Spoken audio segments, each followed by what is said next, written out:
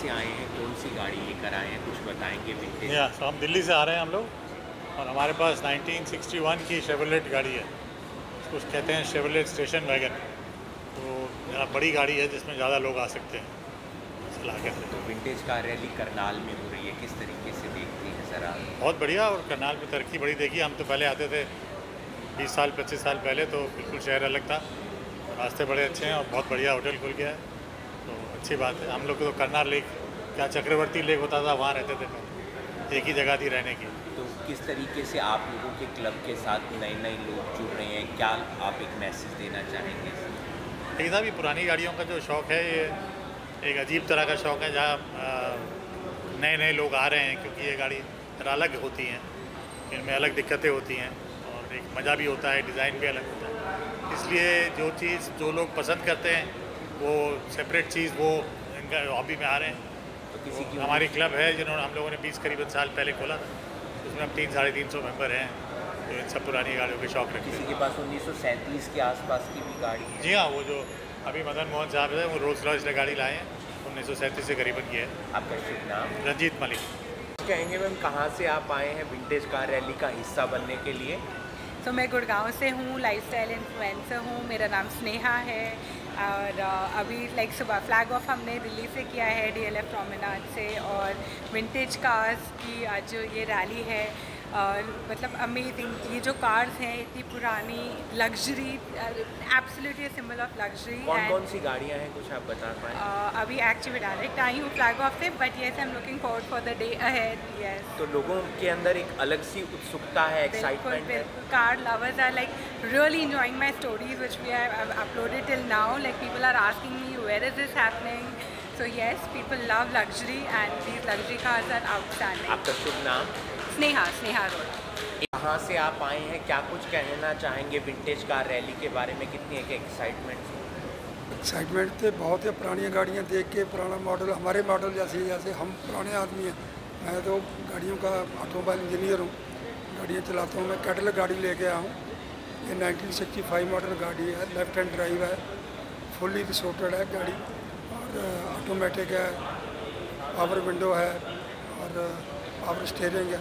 तो बहुत पुरानी पुरानी गाड़ियाँ आई हैं ये बहुत पुरानी पुरानी गाड़ियाँ आई हैं। दिल्ली से हैं बड़ा अच्छा लग रहा है। होटल बहुत बढ़िया है आपका। तो कौन अच्छा कौन सी गाड़ी के मॉडल आए हैं? सर कुछ बता पाए आप? कौन सी गाड़ी? यहाँ पर? हाँ जी। ज़्यादातर यहाँ गाड़ियाँ अमेरिकन गाड़ियाँ आई हैं। अमेरिकन गाड़ियाँ हैं और कुछ गाड़ियाँ हैं जो इंग्लैंड की भी हैं। जैसे बेंटले बेंटले शेवरलेट तो अमेरिकन गाड़ी है जी मोटर आप किस गाड़ी में हैं? मैं कैटलग लेके हूँ आपका शुभ नाम Trilochan Singh I must say. The hotel is amazing. The people are very hospitable. The drive was also very nice. And uh, we wanted to explore a new city. And uh, हम बहुत अच्छे खुश हैं कि हम करनाल आके देखा. We will explore. And we will, I think, हर साल आए और भी बेटर कौन सी गाड़ी है आपकी कुछ बताएँगे Yes, उसकी mine is a 1966 Chevrolet Impala, navy blue in color, uh, fixed and restored by my husband Abhimanyu Sharma. We are from the Classic Garage. You can find us on Instagram. तो अच्छा लगा करनाल आके? Very nice, beautiful, absolutely beautiful. शेवले हम शेवले में आए और वो hatchback थी बड़ी गाड़ी थी और हैचबैक का इंट्रोडक्शन इस गाड़ी से ही शुरू हुआ है जी सो so, 1960s की गाड़ी है ये और बहुत ही कंफर्टेबल सफ़र था और जो हमारे साथ चालक थे वो बहुत खूबसूरती से हमको लेकर आए चला के लाए और वेरी वेल मेंटेन कार और ये पुराने घराने कश्मीर फैमिली की गाड़ी थी जो उन्होंने परचेज करी और उसको बिल्कुल बुरे हालत में लिया था। सो so, आज उसको बिल्कुल उन्होंने अपकीप कर दिया है और याद दिलाती है कि कैसे इन रियासतों से ये गाड़ियाँ जुड़ी हुई हैं और कहाँ कहाँ से लाए हैं ये लोग गाड़ी। कितनी पुरानी पुरानी गाड़ियाँ हैं? ये मेरे ख्याल से 1963 का मॉडल है और एक हमारे दोस्त आए बेंटले में वो हॉलीवुड से गाड़ी खरीदी गई है। सो इस तरह की चीज़ें हुई हैं आज के दिन में जो हमें बहुत अच्छी लगी है और अब हम इस होटल में आए हैं करनाल में क्योंकि हम यहाँ से चंडीगढ़ बहुत ट्रैवल करते रहे हैं।